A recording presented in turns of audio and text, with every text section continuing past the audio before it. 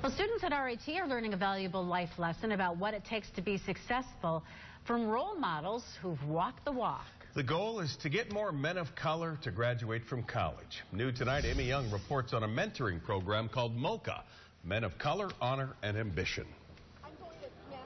The young men gathered around these tables at RIT are striving to be success stories. I hope to uh, become a better, well-rounded individual, as I said. I hope to really learn how I can use the things that I will learn through this program to not only help myself, but to help uh, improve my community and also help improve those around me and make their lives a bit better as 20 students here at RIT are paired up with mentors for the entire school year. People like representatives from Excellus Blue Cross Blue Shield, the American Heart Association, and RIT professors themselves.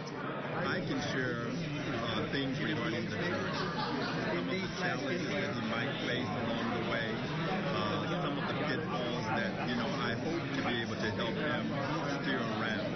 And because of my experience, I think it gives me a unique opportunity to serve in a meaningful way beyond the classroom. The MOCHA program aims to increase graduation rates among students of color. According to the U.S. Department of Education, more than half do not graduate from college. One of my goals in life is to be an outreach or talk to people less fortunate and see if I can help them and just give them my personal experience and just watch them grow over the years. I was a man of, man of color myself and, uh, you know, that just to share experiences with, uh, with younger folks so maybe they don't mistake, make some of the mistakes I made or perhaps they can learn from the successes I've had. One success story at a time.